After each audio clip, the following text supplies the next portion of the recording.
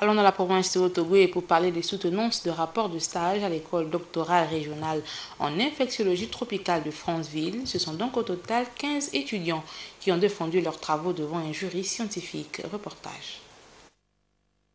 Devant un jury présidé par le professeur Angélique Njoye Bingino et d'autres éminences universitaires, dont Alain Ondoa, directeur du bureau Afrique centrale et des Grands Lacs de l'Agence universitaire de la francophonie, les 15 étudiants, parmi lesquels 5 Gabonais, 3 Camerounais, 3 Centrafricains, un Congolais, un Tchadien et 2 Béninois, ont présenté les travaux d'excellente qualité. Des mémoires préparées dans différents laboratoires de la région ont indiqué les membres du jury. L'on note deux mentions bien 7 assez bien, une mention très bien et 5 passables. Des moyennes qui tournent entre 10,66 et 16,32 sur 20.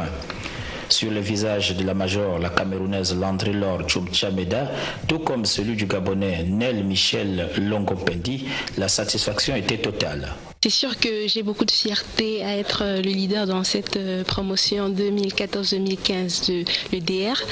C'est le résultat de neuf mois de travail.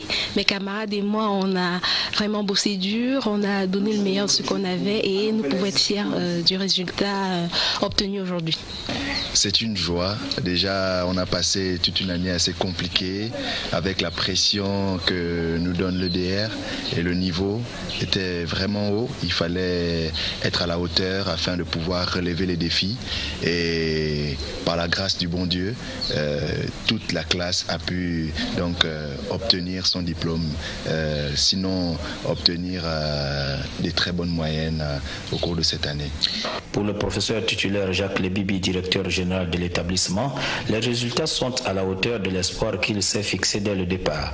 Les soutenances 2015 bouclées, place aux travaux des conseils scientifiques.